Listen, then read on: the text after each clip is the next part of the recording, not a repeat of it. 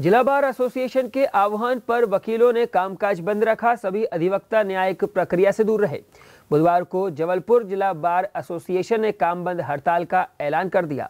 दरअसल Patan ADJ court बनने के बाद पाटन संबंधित सभी केस वहाँ स्थानांतरित कर दिए गए हैं, जिसकी वजह से वकीलों में आक्रोश है। वकीलों का कहना है कि पाटन संबंधित जो भी केस है और उसकी सुनवाई चल रही है, वह केस अभी पाटन एडीजे कोर्ट में स्थानांतरित न किया जाए। जिला बार एसोसिएशन की इस मांग को दरकिनार कर दिया गया और पाटन संबंधित सभी केस पाटन एडीजे कोर्ट में स्थानांतरित कर दिए गए हैं। जिला बार एसोसिएशन ने ऐलान किया है, अगर उनकी मांग नहीं मानी जाती तो अनिश्चितकालीन हड़ताल करेंगे और मेगा लोक अदालत का भी समस्त वकीलों द्वारा बहिष्कार किया जाएगा। जिला बार के पदाधिकारियों ने कल एक बैठक की थी जिसमें 2 दिसंबर को जो पाटन में नई कोर्ट खुली है डीजे की उस संबंध में जो जुडिक्शन के केस थे क्लेम केस क्रिमिनल केस ट्रायलें अपीलें वो पूरी की पूरी पाटन भेज दी गई हैं ऐसा कि नोटिफिकेशन जारी किया हाईकोर्ट ने। हम लोगों का ये कहना है कि जो केस अभी पेंडिंग है भले वो पाटन जुडिक्शन के हैं वो यहीं रखें जो नई फाइलिंग है, वो फाइलिंग जाके पाटन में की जाए।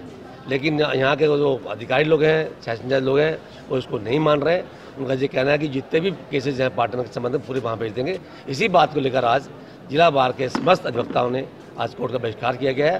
और यदि इन्होंने जी मांग नहीं मांगी तो अनिश्चितकालीन हड़ताल हम लोग जा सकते हैं।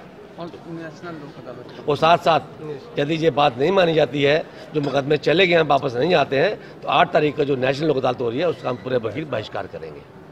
न्यायालय कार्य से विरत हैं क्योंकि हमारे जो अधिवक्ताओं की मांग थी पाटन एडीजे कोर्ट जब से अभी बना है और पाटन एडीजे कोर्ट बनने के बाद सिविल और क्रिमिनल के मुकदमे भी भेज दिए गए बिना बार को कॉन्फिडेंस में लिए फिर इसके बाद एमबीसी के प्रकरण भी कल सुनने में आए कि सारे के सारे केसेस भेजे जा रहे ऐसी स्थिति में जो कि नए मामले के लिए तैयार हैं कि वहाँ नए मामले फ़ाइल करें लेकिन पुराने मामले कैसे स्थानांतरित किए जा सकते हैं?